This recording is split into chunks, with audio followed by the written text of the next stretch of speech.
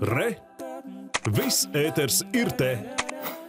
Labas ziņas galvaspilsētas pensionāriem un skolēniem. Mazinoties Covid-19 izplatībai, no šodienas pilnībā atjaunoti visi Rīgas domas noteiktie braukšanas maksas atvieglojumi Rīgas satiksmes transportā.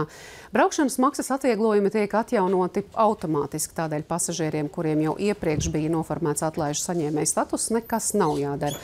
Taču Rīgas satiksme aicina iedzīvotājus neaizmirst drošības pasākumus joprojām sabiedriskajā transportā noteikti ir jālieto mutes un deguna aizsagi.